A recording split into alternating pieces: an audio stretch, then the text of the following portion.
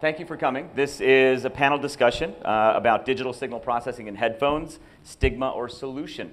Uh, this is an interesting topic because we're seeing uh, DSP, uh, digital signal processing, being put into products, audio products, even by audiophile companies more and more.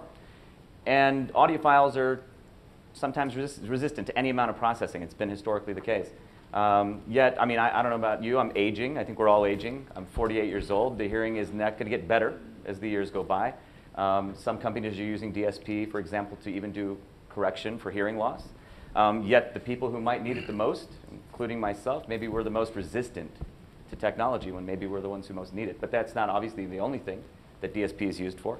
Uh, we have some panelists here um, from companies, and the reason that they're here is because they worked with uh, companies who have made traditional audiophile headphone products acoustically tuned um, but then are now also implementing DSP into some of these products. And uh, rather aggressively so in some cases, which is pretty exciting. So I'm going to let them introduce themselves, starting with Greg Stidsen. Yeah, hi, I'm Greg Stidsen. I work uh, for Lenbrook, and we have uh, three brands in the industry. We have PSB speakers, uh, and of course, we make headphones. Uh, we have NAD Electronics, and we also make headphones under that brand. And then we have Bluesound, which is the multi-room high resolution audio system. So we do a lot of work with DSPs and we have been pretty aggressively bringing it into the uh, headphone range. Hi, my name is Dan Wiggins. I'm with Periodic Audio.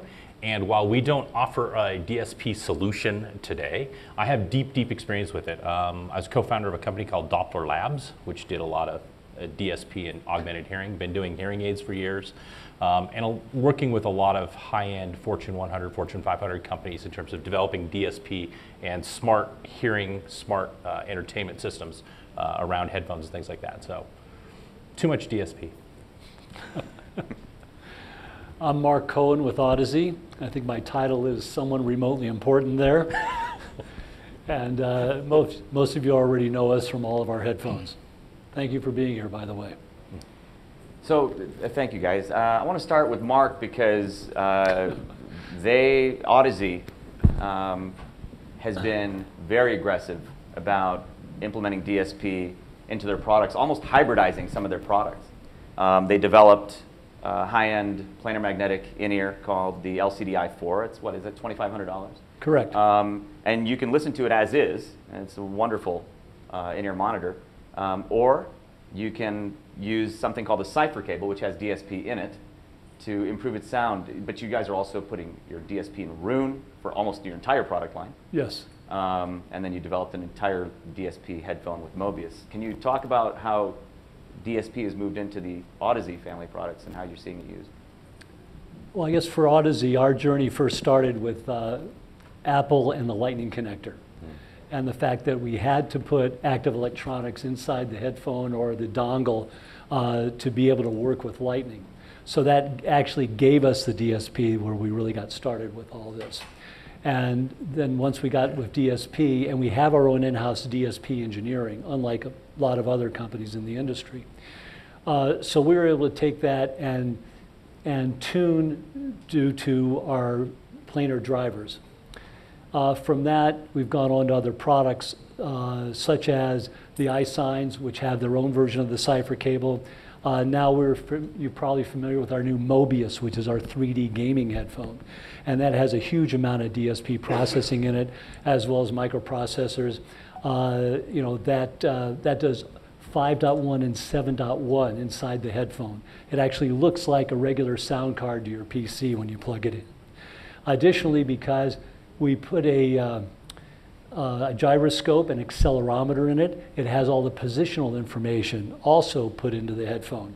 And not only that, we can talk about this later, but we also can send that positional audio back to the computer. So the computer can then take that data and do something with it. And that something with it, quote unquote, could be a great variation of things. If you're, well, for example, how many of you are PC gamers here? All right, so you're familiar with keyboard, uh, keyboard binding. You could actually de uh, decide to have some of the head movements bind to the keyboard commands. So for example, anyone play PUBG? You could do this and have the map show up. If you're doing a, a reload, for example, all that can be done by head movements. If you have physical problems, we can send commands to a computer to give you uh, instructions for that problem. Uh, so there's many, many things that can be done, and we can talk about that more at length as we go through this. Uh, anyway, I'm, I don't want to take up all this. no, I mean this is a discussion about though, especially with the traditional audio, because you're doing a lot of things with for the audiophiles as well.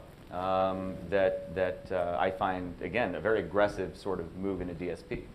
With, That's true. Yeah. And it's possible, you know, we can take the DSP platforms we have in our products, and now we have enough horsepower available in DSP as manufacturers that we can actually supply a, a really good room simulation. Not like what used to be in the past, but we can actually nicely sample, for example, Abbey Road Studios.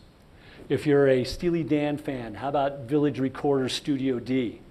We could give you that in the headphone. And that's something that really has not been possible before. So with the amount of memory now, now we can build in and the horsepower, these are now things that are now doable. Additionally, which I'd like to touch on something that uh, Jude was talking about at the very beginning here, and that is about people with any kind of uh, hearing inaccuracy. And just as an anecdotal point, you know, I talk to many, many people who buy our headphones and otherwise, and I would say, once again, anecdotally, probably about 30% or perhaps more of the people that we communicate with have some sort of hearing issue. That could be something like tinnitus, uh, but often it's people who have different hearing on each side. Some people have a real problem, for example, at a certain high range uh, or low frequency range. All these can be resolved by DSP and finally make music much more enjoyable and truly listenable for a great, great many people.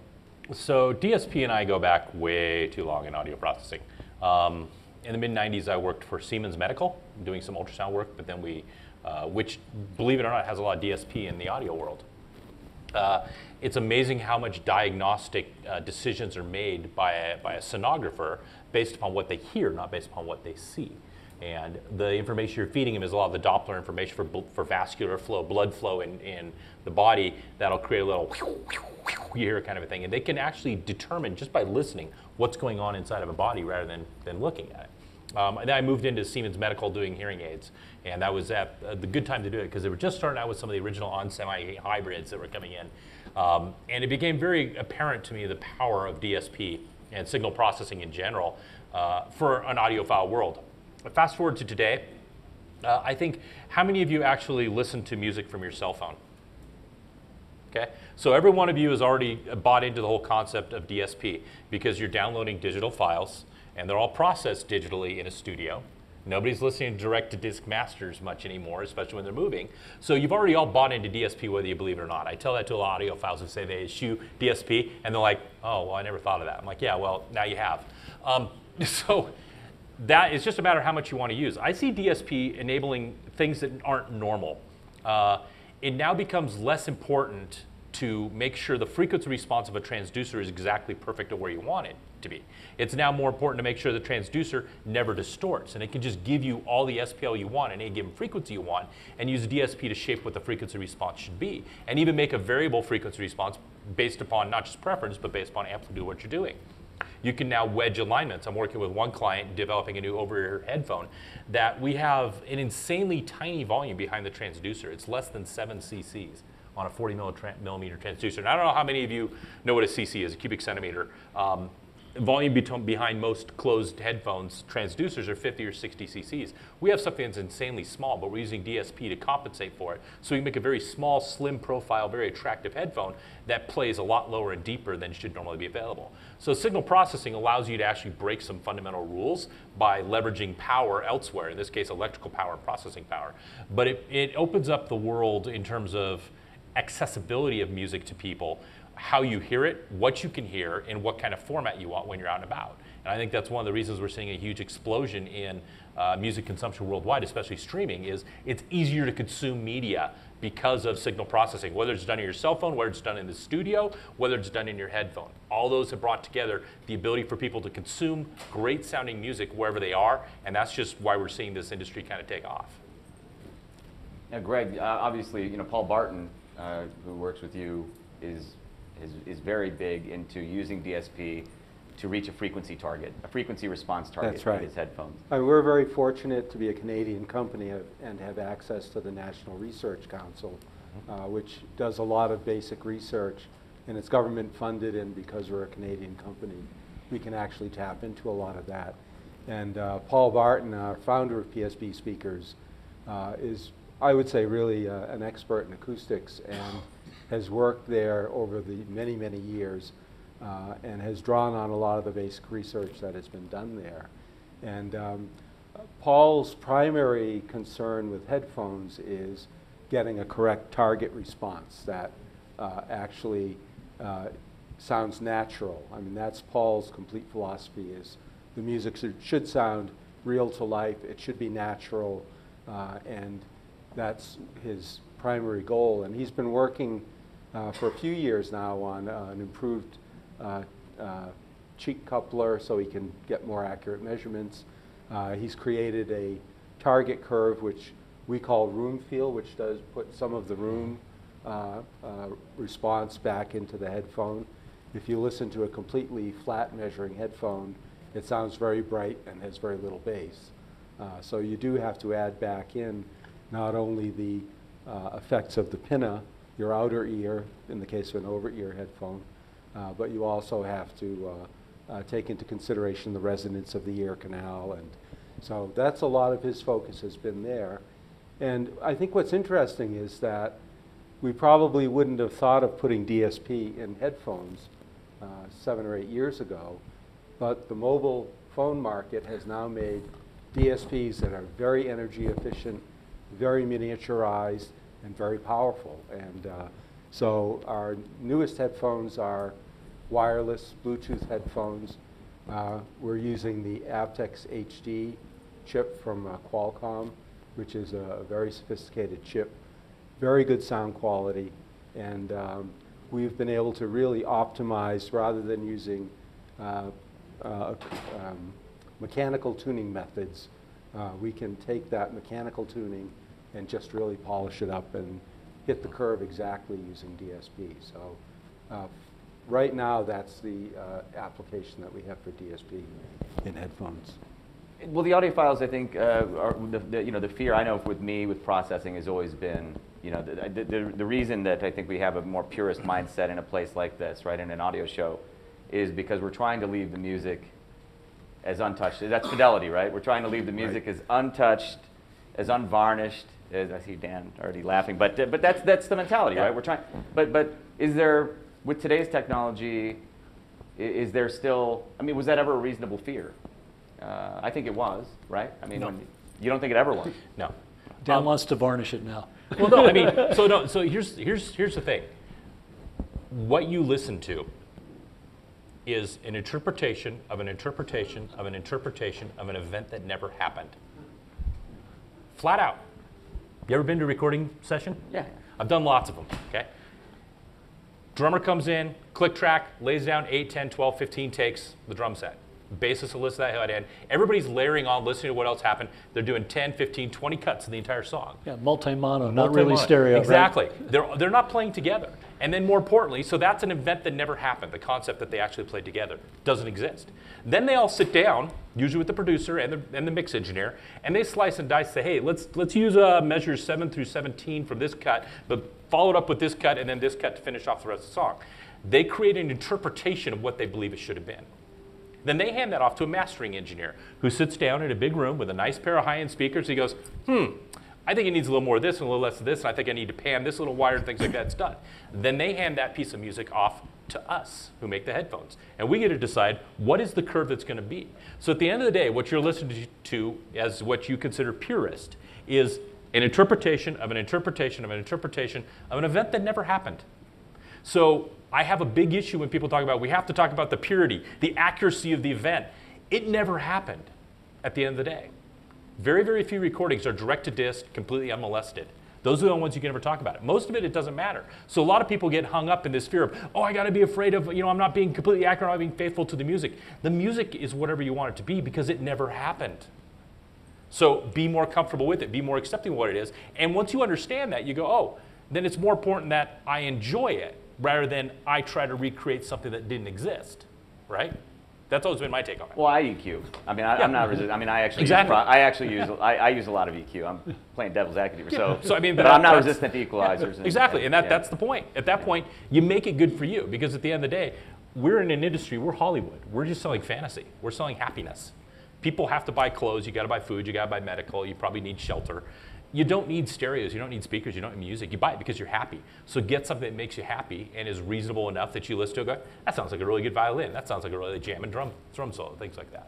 That's where I come down on it. Right. It doesn't really fly necessarily with a lot of you know purists and audiophiles at these shows, but you know what? I'm happy. Yeah. yeah. But how many of you actually create your own music? Uh, do you do mixing, producing, mastering? How many of you? Uh, So, so then the, one guy here. so here's one of the things that happens to the uh, to the great unwashed is that when they hear some recording of, let's say, it's got upright bass, piano, guitar, saxophone, whatever the general assumption by the public is typically that if this is done really well, all these instruments are reproduced as accurately as possible. When the reality is that when you actually go to mix all these things together, they take up too much space in certain equalization bands. Mm-hmm. So people start making room using equalization for the different instruments. So you may find if I've got piano and electric guitar happening at the same time, I may be taking between, let's say, 8 to about 2500 kilohertz, slightly down on the piano, so the electric guitar is now audible in that mix. So you never, it's really rare that you ever hear, how can I put it, the complete acoustic spectrum of everyone's instrument in a, in a regular studio recording. Now, that's not true of, of the higher end uh, acoustic recordings or whatever, but for most uh, practical multi-mono or studio recordings, this is what happens. Now, leading on to this, which once again ties into something that you'd mentioned earlier, so when we started with dealing with DSP, uh, because a lot of our customers use our products for mastering. So they needed to have our product that would translate well. And normally for us, we have a model called the LCD-X, which most producers tend to use. It translates real well to the real world. That doesn't mean it is the most accurate sounding transducer in the galaxy. That means whatever they mix on that, when that mix is played back, it will sound the same on your Wilson Sophias as your Yamaha NS10s, or somewhat reasonably close. Uh, or ni- good on maybe unreasonably close. nothing sounds good on those. okay. Well, did they have the tissue paper mod? All right. Uh, what we ended up doing was we've realized, especially in the studio monitor situation, there really is no way for these users to go from one studio to the next studio and have the same sonic response in every studio. So then what we did is we developed a product called Reveal, which runs as a uh, plugin for Logic, uh, Pro Tools, you name it. Also, it's used in Roon, in Roon's player, as uh, Jude mentioned earlier. The advantage of this is, and once again, this talks to something uh, Greg mentioned earlier by Paul, that we generate a target response. So this reveal generates a target response, and it could be, it's ours, but it could be PSBs, it could be the, the Harman target, whatever. But what we do is we adjust it so it can be the same on every one of our headphone models. So if one of our customers is working on a pair of LCD3s, let's say George Massenburg, uh, he's very famous. He uses the threes. If he's working on that and he wants to send that project to be mastered uh, by Metropolis Studios, by Tony Cousins, for example, in London, they've got X's. He would have the exact same target response that he hears on either headphone. in any studio. And that's something you can't do over any other studio monitors. So that's something we decided to do uh, for the studio workers. And once again, that was an outgrowth of what we started to learn in dealing with all the DSP. Is there still an advantage though, Mark? That's an interesting question. So if I can take a three and reach a target curve, or a four and reach a target curve, or an X and reach a target curve, is there still an advantage to buying one model over the other? Like, I mean, there, I imagine there are other performance advantages due to the transducer differences as well, because we're talking strictly frequency domain here. Yeah, well, actually, so there's two differences. Or is there time domain stuff? Yeah, so there, there's, there's time and frequency domain, but also there is closed back versus open back domain. And uh, maybe I'm talking too much on the studio side of things, but what surprised us early on was that the vast majority of the producers and mastering engineers use open back headphones. Uh, we originally thought everyone would have closed back because we're in a studio, they want the isolation. No, they want the open back. Uh, they have more accurate bass response when they use the open back headphones. However, we do have some customers, like Elliot Scheiner, for example, who's done a lot of work. He loves XCs, which is our closed back model. So he's able to take his work on his XCs using our Reveal plugin and have that be able to be translated by anyone who's using any of our other models. So it does open for anyone in the what the Music Maker galaxy to be able to move their projects from one house to another house. And that includes someone sitting outside here with an iPad Pro and a pair of our iSINE 10 in-ears and wants to send that project to George to, to, re, uh, to remix. And that's not something you get anywhere else. But we're able to do that because of the huge inroads that have been made in the development of DSP and all the horsepower available. You do bring up an interesting point, though, Jude. Um, we are talking frequency domain, frequency response in particular, and that's where DSP is really dominant right now. A lot, if you have two speakers that measure exactly the same, they can still sound radically different for frequency response. There's distortion characteristics, total harmonic distortion, intermodulation distortion. Uh, there's also, you know, just noise floor of the transducer. There's waterfall. You can have the exact same distortion curves and exact same frequency response curves, but if your, your, your cumulative spectral decay, your waterfall plot is different, it will sound different. There's, there's a lot of other things that go into it. There's also just dynamic range scaling. So those are some of the issues that DSP cannot solve because there's the old act, um, um, there's the old truth of when you're equalizing a room, you can't fill a hole. if you have a null in, in your room response, it doesn't matter how much EQ you put into it, you're not filling the null. It's a, it's a physical notch. Same thing with distortion. If your transducer is beginning to distort, you can't use DSP to stop distorting. The only thing you could do is turn it back down, which stops the problem, but then you've eliminated the signal. So DSP will not solve most of your most of the other problems. So there's still a need for different transducers and different levels of product, even you know entry level to high end. They can all sound sonically have the same presentation from a frequency standpoint, but they'll have different performance characteristics because of the differences in the transducer and the system as a whole. Right, so you can't DSP fully uh, an No. LCD2 into an LCD4. Yep, But it- I guess I'm asking Mark that too, Yep. right? No, no, not uh, completely, but Sure. as close enough for folk music. Gotcha. Yeah. But actually, uh, Dan leads into another problem, which is probably something that do most that of you can readily identify with and immediately raises a red flag for problems with DSP processing. Yes. Uh, and that is originally the idea in DSP was for room correction. And everyone originally thought, oh, the magic bullet is I'm going to generate an inverse frequency response curve to fix my room. So, in other words, if you had a bump of uh, 3 dB at 120 hertz, you'd simply generate the reverse of that. And so then what would happen is all you really do when you're talking in the digital domain is you're moving stuff back in time, and now you get comb filter effects. And that's what can really cause the audible problems that can build up. And the other problem you have that is more difficult for DSP to solve right now, which Dan also alluded to, is simply the energy storage in the room. Yep, you can't kill that. And that maybe that's Dan and, and Greg something they can really you know talk more on. Sure, I'd love to talk to that one. We've recently been working with Dirac, uh, the Swedish uh, Yeah. company, who have a very sophisticated approach to room correction. Uh, we haven't used it in our headphones, but we are using it, uh, their live room correction on our NAD electronics. And, you know, it's exactly as you say. Their approach is that the type of filtering that you use depends on where the direction of the resonance problem. So that there's a different kind of filter for sound bouncing off the ceiling than there is for sound bouncing off the wall. Off the back wall, maybe you don't do anything. So it's, uh, it's using the right filter, knowing when not to use a filter. Uh, They, they change the shape of the energy in the room to try to get it to line up in an impulse response.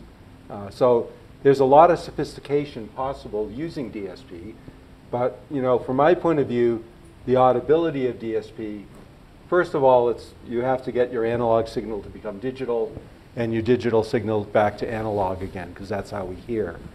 Those are the things that probably create the biggest amounts of distortion.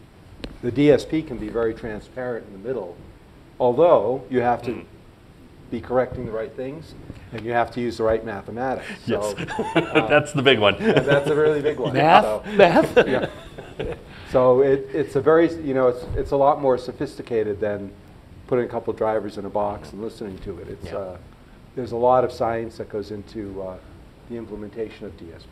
Absolutely, absolutely. The, uh, the DSP as a whole, it, it, you know, like room, like Mark's saying, if, if you have a bump at 3 dB at 60 hertz in your room because you have a, a standing wave kind of issue, turning it down 3 dB, all instead of, instead of getting a bong, you're to get a bong.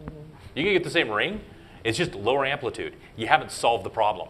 So I tell people a lot of times DSP is great in some areas. In others, it's much like the ABS system in your car. It only kicks in when you started skidding, right? ABS kind of pulls you back over the edge from dying. Um, DSP can kind of sometimes do the same thing like it did, but the problem's already happened. You've already experienced the issue. The best it can do is kind of try to make it not as bad, but you already have a bad situation. So there's issues to already deal with in the first place. It's not. It's by no means a cure-all. Well, this is an interesting discussion now. So let's get back to headphones. so, so now let's go to the uh, not the recordings that didn't, you know, the events that didn't happen. Let's go to the ones that did, because I'm trying to now I'm trying to attack this from the more purist standpoint. So now let's talk about a recording that was made purely acoustically. You know, you know, like David Chesky in his recordings, he does that. It's all recorded once. Uh, and now let's talk about advancing headphones, because you know all, all, all, all three companies here are trying to make better headphones, right? And, uh, and you're making better transducers. So I guess one message here is, and correct me if I'm wrong, is that at the end of all this processing, there has to be some really good transducers, right? so, so, but, but do you see, for a guy who listens only to the events that did happen, uh, uh, any advantages uh, uh, with the headphones as they go forward in advance with DSP? Do you get what I'm saying? Like, Yeah, and- totally, and do you totally. envision a future of, of, of the very best headphones going forward involving the, I mean, are we, Yes. is processing part of our future inevitably to make it, not just because uh, the way technology is going, Mm-hmm. but, but to actually to improve our experience? Absolutely. I mean, so uh, the case I, I talked about earlier, I got a, a consumer, uh, a client who's making a headphone with way too small of a volume. They're doing it on purpose because I designed a, a phenomenal transducer for them that has the ability to displace a crap ton of air, to put it literally. You know, for, it's, it's an over-ear headphone. Um, it's an amazing performer. Normally, you would look at it and go, "This just can't work. You're not going to have anything below 700 hertz because the rear chamber is too too small." DSP is allowing us to equalize and compensate and take care of it. We're also using DSP for a much greater um, uh, transparency experience. You know, like PSB products have it. You can turn it on, you can hear the outside world. Right. What they've done is they spent, you know, tens of thousands of man hours of engineers and research scientists coming up with a system where it also will basically add what they call transparency. So you can hear the outside world through closed back headphones by just clicking a button. And it's to the point where you're hearing my voice right now and you put the headphones on and you click transparency and it sounds like there's not even anything there. It's done all the right HRTFs with multiple mics and everything like that. So it, it allows a person to um, eliminate some problems that are brought in. Number one, by doing with headphones like HRTF issues and things like that, with like what the Mobius does, which by the way is phenomenal how well it does it, especially the head tracking kind of thing. It's kind of spooky to turn your head and not have it, not have the sound go. It's like, wait, I got headphones. That's not supposed to happen. Um, but That uses a lot of DSP. that's a lot of DSP. But so it, it allows you to integrate to the world easier. So in, in some aspects, it, it'll solve some problems like the bass EQ and things like we only do with the headphones. But it allows, it makes it easier to be an audiophile purist in more places. You're not locked down to, well, this is where I have to go when I want to listen to music. I now have the ability to listen to music as a purist wherever I am and have a pretty good experience. I can add room effects into it. I can make it sound like I'm in a studio or in a specific volume. I can turn on transparency. I can listen to the outside world and not have to turn off the music when I want to talk to somebody. So it opens up that whole big aspect to it, especially if the purist is really interested in music and not just a, a gearhead but Right. a music person, then I think that's a huge boon right there. And those aren't even really doing music type processing, but it's allowing you to augment the music type processing. If you understand what I'm talking about, does that make sense? Yeah. Okay. Well, also, leaning on what Dan was just talking about, uh, have any of you heard our Mobius headphone? Okay, the ones that haven't, I would suggest you come by for a demo. Yes, I don't do cool. that for a sales pitch, rather, but just to really illustrate the advantage of something DSP is now able to bring to you Yeah. that it makes the product more real or more accurate in the sense that we have this head tracking and, um, and positioning built in. So here's your current problem with headphones. If I'm talking to you right now, I turn my head, you come along with me. That's not how the real world works. That's not how the speakers work in your room. Yeah. With our headphones, because we had the head tracking built in, which we're able to do because of the DSP, we now are able to position the source of the audio within that space. So as if you're still talking to me, as I turn my head, you still come from that same direction, just like real life. Mm-hmm.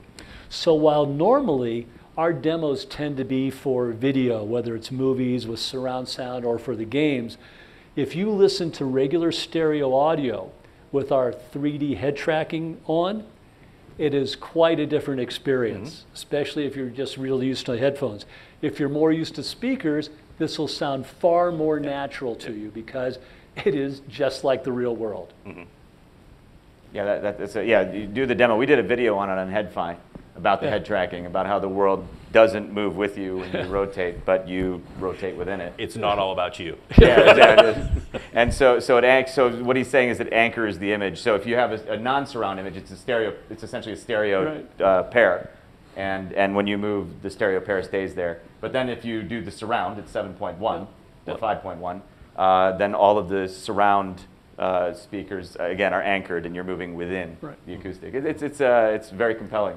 Yeah. Right. Now, as Dan mentioned about the HRTFs, we actually have a separate app that we provide with the product, and it enables you to actually, for one thing, you can see the wireframe of your head moving, and you'll be amazed when you think your head is absolutely straight, how much it's actually moving. Mm-hmm. Because you do that as a human being to constantly place things in its space. That's what we do to stay alive. That's part of our ability to recognize danger or other problems around us. Uh, we actually also give you the ability to make up your own HRTFs. In other words, you can measure your intercranial and interaural distances and the room size and put those into the Mobius headphone. So you can have a much more, how can I put it, personalized listening experience than you could have any other way. Yeah, I think some people will be willing to listen to the Mobius in head tracking surround mode with just Yeah. music. Yeah. Uh, and some, you know, won't. That's Uh, correct. Because yeah, because you'll you'll hear it's different. Yeah. Uh, but I think some will really prefer it, and, and, and then those who don't just simply won't. But it's interesting. So so the answer to the question though is, I'm still seeking it. Is like, it, it, can we improve the experience for even the purists here, the guys who are going up and listening to the two-channel stuff, not just going into the CanJam room? And you know, can we improve the headphone listening experience just from a pure fidelity standpoint, for example? Um, because that's that is the goal, whether you agree uh, Yeah. we're pursuing it correctly or not, is to to Sure. yeah Well, I think you can because you can add in room, EQ, you can add in the sense of realism, the room feel. You can add in the, the room simulation. You can add that kind of stuff in. You can add the HRTFs where it's not like, you know, everybody's like a headphone is right here is where the image is, unless it's a really good pair of headphones, and then it's here. uh, you know, kind of a thing. It's like, oh my God, I can hear things from my ear to ear. That's a good set. Of, well, I'm being honest. I, I make headphones. This is, this is honest truth.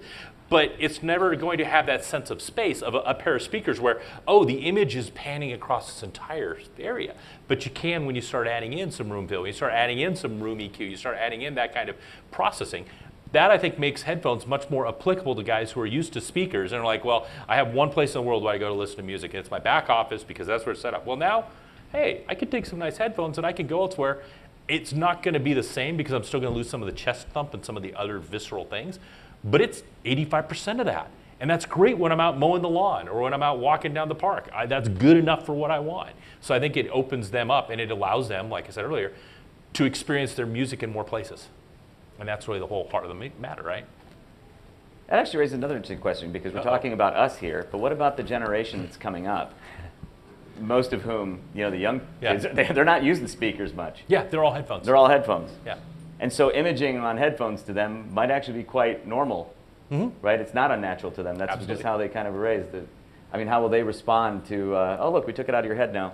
Um, you know, so the experience to them of having two speakers, which might be natural to everybody in this room, might be quite unnatural to somebody who, uh, you know, a teenager now who, who's kind of grown up listening to. Uh, that's very interesting. Well, I guess you could switch it off. But that, that's, uh, that, that's another interesting question is tuning acoustically. So that's very interesting. So some headphones have DSP to reach a target, but if you use them passively, if they provide a passive option, it can be bad. It can be atrocious because the, um, uh, the one of the headphones I use is uh, called a Parrot Zik, Yeah. um, and uh, there's a passive mode.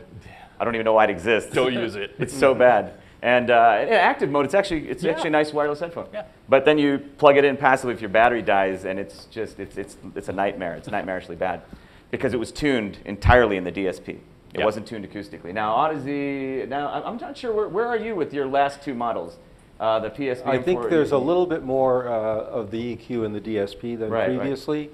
Uh, But Paul always tries to get, and the other thing we can do with DSP is much more effective uh, noise cancellation. So Sure.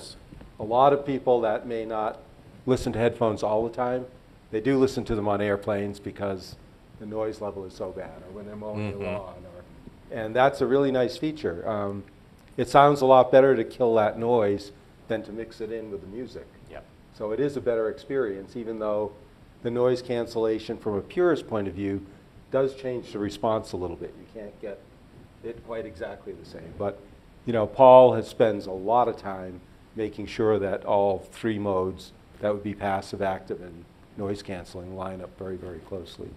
And like you say, it's not true of all noise No, it's not true of all. And yeah, so, so you're saying in the last two models, the, the PSB M4U8, the NAD Viso HP70, these have probably are more, there's more DSP in there for There's the a little bit more DSP in it, I would say, than in the M4U2. Uh, Okay, all right. The M4U2 is actually done, uh, the EQ is done analog.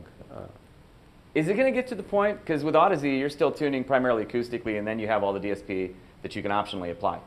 So are we, are we going to move to a part, are you going to eventually move to a place where the transducers still have to be good, but the DSP is just going to kind of take over the lion's share of, do you, you, you understand what I'm saying here? Yeah, I Because- do, yeah. but I actually see that as a different problem and a different question.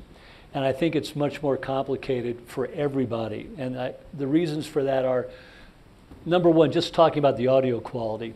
Uh, you know, we still believe your transducer has to be great to begin with.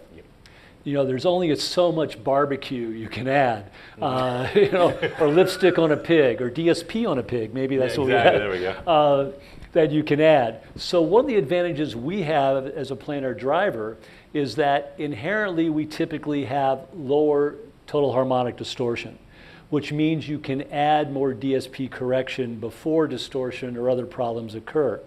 That's, that's not necessarily true of let's say, balanced armature drivers, Yeah. you know, which had maybe 10, 10 times the harmonic distortion. So you can't add as much correction as you could with a planar driver. So we'll, we still believe that you have to have the basic speaker as good as possible, and then you can tweak it a bit, but rather it's not so much tweaking, but rather what is the real use case for everyone? At the very beginning, we talked about maybe 30% of the people in this room have some kind of hearing issue, whether it's tinnitus, whether it's difference in left and right balance, whether it's frequency response issue or whatever. We now can make DSP really usable and enjoyable audibly for these kinds of customers. Additionally, there's another part to this DSP, and that is if you see what we've done with the Cipher cable, we basically take an amp and DSP all in one little dongle, and that's it. There's no more stack of gear or whatever. So that's an interesting use case for people that want a great, how can I put it, integrated, movable or traveling mm-hmm. solution for their product. So it's not just a, a question of is DSP the holy grail for speaker or headphone development or whatever. Uh, it's just another tool that the manufacturers can use to make products better or more able to use for everyone in the market. To your point, Jude, about can does the transducer really matter anymore? And um, I think for the purists, it always will, simply because they're purists and because we obsess about things like that, right? We obsess about the, the, the sound of which cable is, you know, the guys who do the little one watt clapping amps and things like that, right? little tube amps, Sure, sure. as I call them. Um, but for the general, pu- you like that? Yeah. I used that burning amp last week in San Francisco. it went over well with some, some others like, um, anyway. Um, for the general consumer, though, absolutely. Um, and I, I would point you no further than Sonos. So I worked at Sonos for several years. They did all their transducers. Uh, the goal there, as the transducer guy and um, the lead there, was to make a transducer that moved a massive amount of air. Didn't matter if it was a woofer, emitter, or tweet. Massive amount of air as linearly as possible. We don't care about frequency response. So no, you can you can have dips and peaks, no real high Q stuff low distortion, massive amount of air because we're just going to EQ the crap out of it. And so every single Sonos player speaker out there That's what I was trying to get has a full right. Linux PC in it and a massive amount of DSP run inside that thing. They got 40 bucks worth of processors in those things, and it does a huge amount. And while that's not purest sound, they sell millions and millions of units a year, and that's they're the number one selling speaker brand in the world right now. Believe it or not, Sonos is. That's an amazing thing. And it's all DSP based because it gives consumers the freedom of like, wow, you can have this little thing that sounds great and it does all these cool things. And it gives uh, manufacturers the freedom of, oh, I only have to make a transducer that simply doesn't distort. I don't have to worry about the analog pass through mode anymore, uh, which simplifies a lot of designing capabilities. And it, as we know, computers and everything's getting cheaper. The, the headphone I mentioned earlier that we did, it's got a quad core 2 gigahertz processor and three additional DSPs built into it, and it's an affordable product. You know, I mean, it's got more capability than a state of the art Cray in 2002 supercomputer in a headphone. It's just not right. But that's what they are. So it frees you up from a consumer brand standpoint, especially for larger consumer brands. I mean, that's huge because now it makes design easier of the transducer and the acoustic system as a whole so you can move faster you can release new technologies quicker you can integrate them you have to have the two to three year design cycle simply because there's not enough engineering or money going into it Does the Sonos approach scale?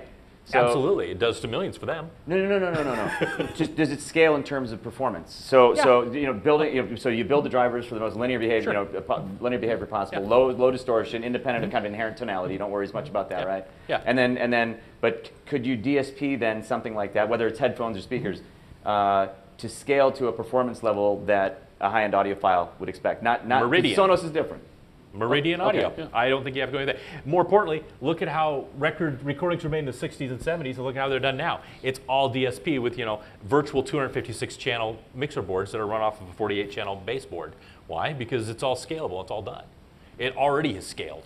Okay, You know whether we want to accept it or not, it has, that's very interesting. especially on the recording side. Right. I think I'll channel Paul Barton here a little bit. He would say that it's, it's great that you can do all these things, but you got to know what you're doing. Yes. right, right, Like, Yes. What? You got to know what the target curve is and Yep. what you're trying to accomplish, because you can do almost anything now, but, Don't give the mon- monkey a machine gun. yeah, yeah, exactly. yeah, yeah. That's I entirely that. it. All right, well, I think we should probably go to questions. Uh, if anybody, oh, this gentleman here, we're, we're going to get you a microphone so you can ask the question. I have a comment and a question for you, Mark. Uh-oh. Uh, so I went to uh, the SoCal CanJam a couple months ago with my son, who's 19 years old, and we were just blown away by the Mobius. So Ah, I bought him one, and I could test it for one day before I have to, you know, hand it off to him, and it's gone. And the, the, the, the thing that amazed me most was that usually when I listen to headphones, the sound's like all inside my head. And I got goosebumps when I put this on because the sound was like in front of me. And it, it was just like a nice experience, Huh. you know. Uh, now, I could not care, I mean, I, I, I do not care about the sound, you know, staying in place because that's almost. I mean, when I listen to music, I want the sound like move with me. So I don't I don't care about that. But my son does for the gaming stuff. Right. Yeah. So just like a big compliment to what you accomplished with the with, with the headphones. And so the question that I have is, uh, you mentioned that you could correct, you know, my own hearing. You know, I'm getting old. Uh, I went to the ear doctor a while ago, and you know, he did like a you know frequency curve and whatever, and it's you know it's falling off at the high frequencies for me. Uh, it's probably you know usual aging thing. Uh, so how would I correct that with that headphone? So we'll probably have some software later on uh, next year that will more specifically address those kind of issues for listeners. So But that's something we're working on. So what would happen is you would have, uh, well, without talking too much out of school, uh, just imagine you had a two-channel parametric equalizer. So you had one for each side. Yep. And then you had a, a number of bands you could play with. And you'd also have Q. So it wouldn't just be frequency and, uh, and gain, but also Q, because that's, re- that's required. Because we actually found some people, uh, this is amazing, some people will have a very, very narrow band of hearing impairment. It could be just from one kilohertz to two kilohertz. Or narrower. They're narrow, right. And if you have a conventional uh, tone control, then you're taking out way too much. And so, uh, so there will, there will be some special kind of EQ that we're working on, but that will be sometime next year. And So- that'll be, that'll be a, uh, like a firmware update and an application you'll use with the headphone. The the ear doctors for like hearing aid, you know, measurements, they put like like a silicone tube in, in, in, in my ear, and then and then they run some frequency, you know, thingy, whatever. Would you do something similar? I mean, how how how can you tell, you know, what my you know hearing you know Oh. deficiency is? No, we've got some ideas for that. Uh, And Dan has a lot of experience on the hearing aid side, by the way.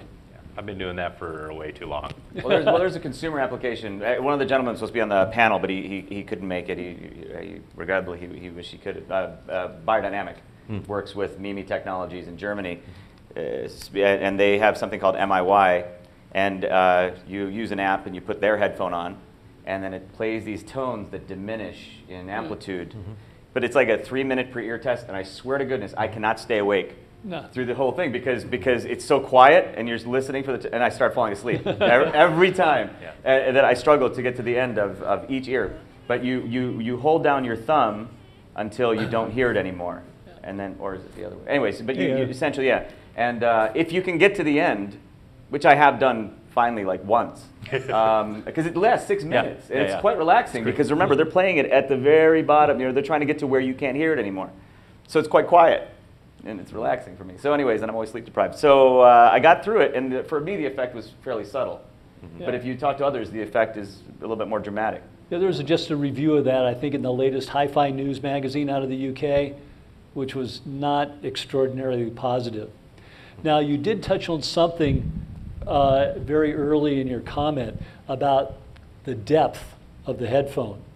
So this is something that can happen for all of you listening on headphones, and that is people will try headphones with 3D effect, and many of them will say, well, wait a minute, yeah, I hear the 3D, but I don't hear this distance in front of me.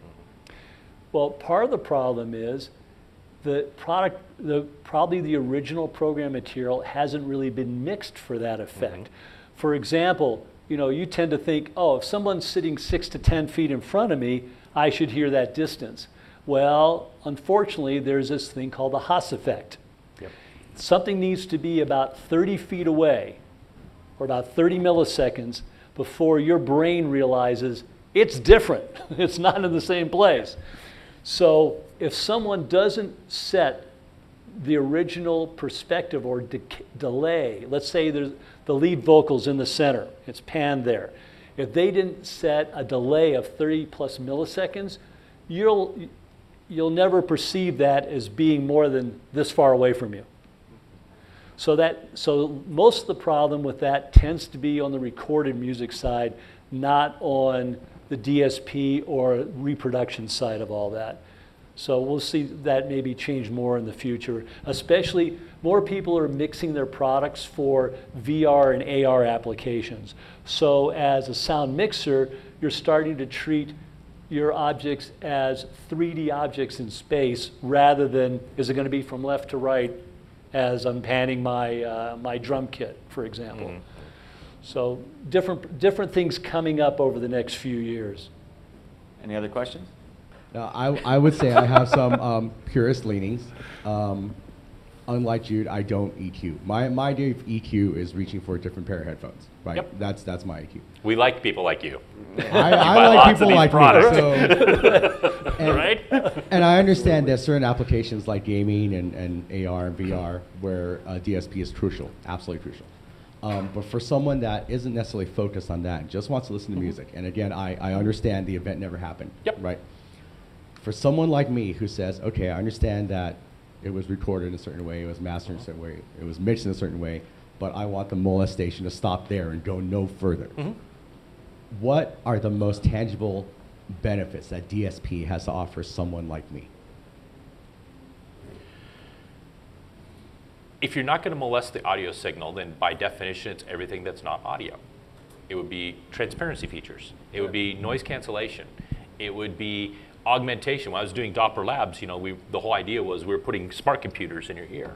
Um, the ability to do things like um, uh, layover information as a background information. So you listen to some great, you know, Stravinsky as you're walking through the airport, and it says, you know, you got 17 minutes to get to your gate and turn, take the next left. You don't have to go, where am I going? It just tells you that kind of information. So the ability to augment what you're hearing on top of your pure music is where DSP starts fitting in.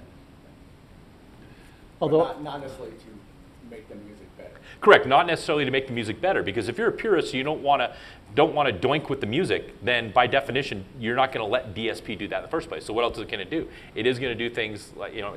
So a lot of the room and the HRTF stuff goes away. It comes down to well, just get rid of the non-music stuff from me. I think is the big thing with noise cancellation. DSP's gotten much better with noise cancellation um, and uh, transparency, bringing the outside world that I want into me. Or That correction, or much hearing correction even. I mean, is that really molestation at that point? I mean, if it's, Yeah. if it's uh, uh, tuned to someone's actual hearing deficits, right? Uh, It- That's an interesting one. We could talk Yeah, about. that- That's a whole. that is an interesting- audiology is a whole other world. I could talk about that for hours. I think if I were ever confronted with something like that, I would almost, and I hate to say this, I'd almost just sit there and accept whatever the deficiency was. and, and still Well, take it. and, But- and ultimately, yeah, We all- we'll- we all we'll talk kinda about do that, though. I mean, afterwards. But, you know, the problem with perfectionists is there's no such thing as perfection. Right, That's right. It's a fool's errand. So, you know, really what we use DSP for is to optimize what we have. yes. So, you know, there are all different parameters, and like you were saying, Sonos could get a drive that moved a lot of air, but wasn't super linear. But that's not a problem, because you wouldn't find a super linear driver that could move a lot of air that was that size. Mm-hmm. So there are trade-offs involved, and you get the best result uh, you can from that. Or the headphone you're working on a very small space, that's, that's not going to work acoustically, but you can make it work with DSP. Exactly. So, uh, And I think the way we're looking at it at PSB right now is really to perfect what we have. So you have to start with something that's very good to begin with, but then you can polish it. It's, it's a level of polish on an already good product that takes it from being, you know, just very good to outstanding, uh, is the way we're using it. But there are many other uses as well. And actually, I had a fair amount of empathy for Warren's uh, position. If you notice with Audeze, we have a number of headphones that we don't screw around with with DSP at all. And we have some headphones that are purposely voiced slightly on the warm side of neutral, like our LCD 2 and 3, and others that are neutral, like the LCD X or the X or the LCD 4. So people like Warren can say, this is the kind of headphone I want, or I want for this music. And then what we do with DSP is if people want to deal with it, they can go through Reveal, for example. But we don't that make that a gotcha or a have to. We have another question in the back. So this is coming from I am of the younger generation, obviously, and I love this hobby. I grew up with hi-fi audio, and I have struggled to share this hobby with my colleagues, with my friends. Do you guys think, and I think Audeze is probably thinking down this route with their gaming headset. Um, do you guys think that bringing in DSP and some of these other features that DSP enables, like the, the noise cancellation, the the transparency features, even stuff like the surround sound, do you think that will help bring younger generations into this hobby? Yes. Any other answer? I, I say no. because ultimately this hobby, I, I think ultimately this hobby is about music. And adding effects on, on music or, you know, a realism to music to somebody who's really not into music is irrelevant. If you want to bring people into the hobby, you have to get them excited about music. The way I get people excited about what I'm doing i- and where I believe things are supposed to go and all my various little audio hobbies I play with and things like that is, hey, did you hear this new song from? You got to listen to this cut. You got to listen to that. Suddenly they start going, wow, wow, that's great. I've never heard of this artist. Who's that artist? What are they doing? You start talking about music. And then suddenly people are like, I like this. But how can I listen to music when I'm not at home? Haha, we've created this thing called a headphone and take it with you.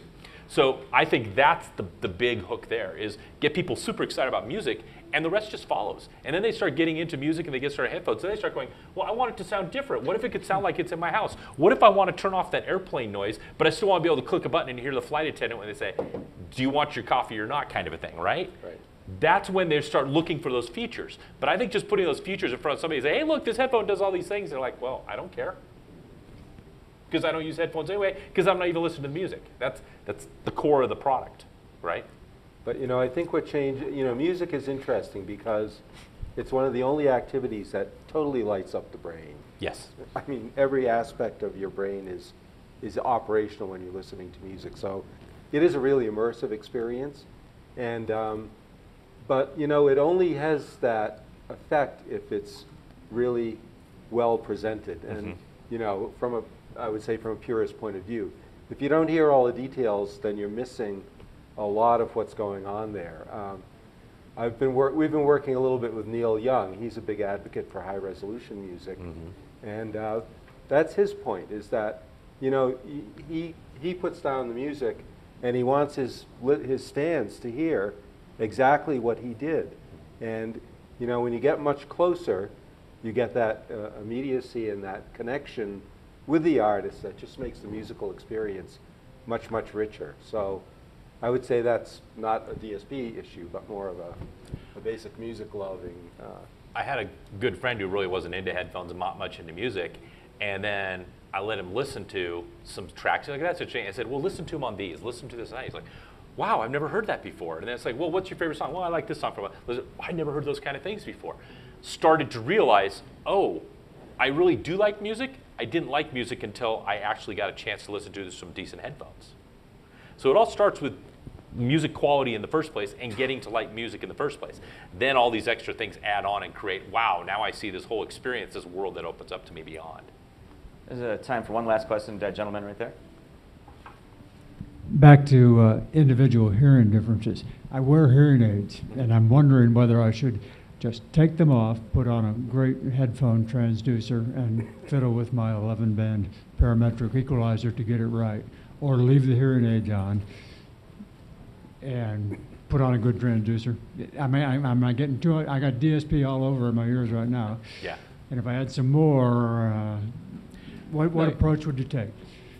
So here's the question Are you wearing your hearing aid so you can listen to music or so you can have this conversation? Well, I've got a music setting, I've got a speech setting. That's right. So I Most- put it on music. Okay. You got Generally, it's flatter. Okay. You put typically, but a lot of times you're using it simply so you can understand communication Yes, from others right. with you. Hearing aids are inherently not about accuracy, they're about intelligibility. Yes. And you know that's rule number one. So I would say get a good set of headphones that are equalizable, you know, that you could tune. When you want to listen to music, pull your hearing aids off, put the headphones on. But anytime you're out and about, I would absolutely have your hearing aids because there is so much processing that goes into those processors now. The DSP inside, like a little on, like the latest generation, the 7400 series on from on. I'm geeking out. Um, 55, 60 dB of gain in nar- very narrow bands of, of literally a tenth or a twelfth of an octave. So they can do some great things. And they'll have 12 to 15 bands of compression going on inside of it too to limit what you're going on. So you're, the, the headphones are woefully inadequate when it comes to that kind of processing capability to do that kind of detail, Right and now. also have it fitted by an audiologist who actually knows. You've seen the fitting sheets, like you Yes, know, yeah, yes. on, on the HAL 7000 programming set. It, it's not easy at all. There's 9,000 little check boxes. Somebody who knows how to do that so that you can hear when they ask, do you want fries with it? I mean, that's ultimately what it boils down to. So I would say you need both. Um, a great set of hearing aid, uh, of, of hearing uh, of, of headphones where you need to listen to music, tune it how you want to listen to it. Around and about the world to be able to interact with the world, absolutely hearing aids. But mean, don't have the hearing aids set to natural or, or music and then use headphones. No, no, I wouldn't Yeah. do that at all. I wouldn't do that at all. I think that's No. gonna no. Uh, That'll screw everything up. Yeah, plus you're not listening to the headphones. You're simply listening to the balanced armatures in your in your hearing aids, and that's a whole different No. world we could talk about because that's really what's driving the sound that you're hearing at that point. I would I would look at some good good um, uh, headphones that are programmable, and then some really good hearing aids. And there, there are third-party software applications that have parametric equal, equalization that you can play with. You don't need to buy Audeze or anybody else's per, particular headphone, at least at this point. Yeah. Thank you, guys. Well, Yeah. thank you. Thank you, gentlemen, for being on this panel. And thanks, everybody, Thank for you. showing up. Thank you.